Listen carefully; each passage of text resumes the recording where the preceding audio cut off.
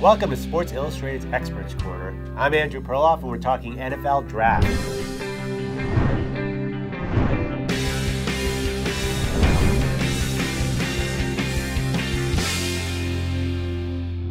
Is Ryan Tannehill an elite quarterback prospect?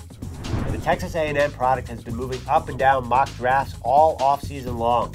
Now you're seeing as high as number three, assuming that teams might trade up to get ahead of Cleveland at number four to pick the Texas A&M gunslinger. Now here's the problem with Tannehill. You look at the game tape.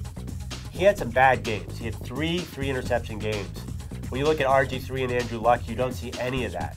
When things go wrong at Texas A&M, they go really wrong. I think Tannehill is too cerebral. He gets into his own head and he starts making mistakes late in games. And then, of course, in the workouts, he's great because he's tall and he's strong and he's fast. But at best, he's a developmental quarterback because it's all about mentality. Look at Eli Manning and Tom Brady. They're not necessarily the biggest arm or the fastest guy, but they're mentally tough. Tannehill hasn't proven that. He's going to need time to develop into that kind of quarterback. Problem is, you take him in the top 10, you got to put him on the field, and I don't think he's ready.